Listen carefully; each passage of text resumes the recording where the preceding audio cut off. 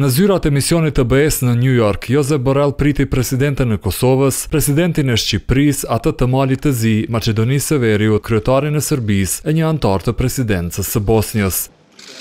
Shefi i diplomacisë evropiane guxoi që ta quajë gjashtëshen ballkanike si anëtarët e ardhshme të Bashkimit Evropian, duke shtuar mes tjerash se po përgatitet vala e ardhshme e zgjerimit. Në ngjarje qe i pranishëm edhe zyrtari më i kritikuar evropian i momentit nga ana e Kosovës, emisari për dialogun Miroslav Lajçak.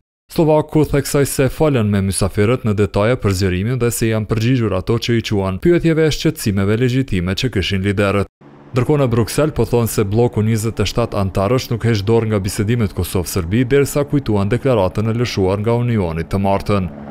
Me anë të saj u kërkohet dy vendeve të përmbushin obligimet që i kanë në dialog, përfshirë zbatimin e ujdive të kaluara. Qëllimi i Bashkimit Evropian është që të vazhdojë zhvillimin e dialogut aty ku e ka vendin. Kjo do të thotë në tavolinën e negociatave, jo në publik, pra jo jashtë në media. Palët e dinë shumë mirë se çka pritet prej tyre të bëjnë, në mënyrë që të përparojnë në dialog, në normalizimin e raporteve dhe të përparojnë në rrugën evropiane. sepse këto dy procese janë të ndërlidhura me njëra-tjetrën.